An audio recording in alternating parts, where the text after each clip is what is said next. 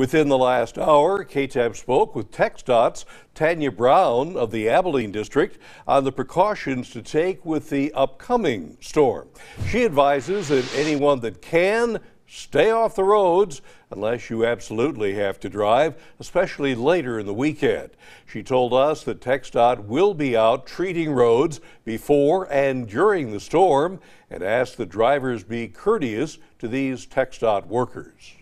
because we can't control the weather and uh, if the roads get slick um, obviously you know it puts you in danger if you're out there. Um, the second reason is that we will be using our snow plows to clear the roadways and so we need to have that room for our guys to be able to work. City street departments are also gearing up for the possibly blizzard like conditions to maintain city streets and bridges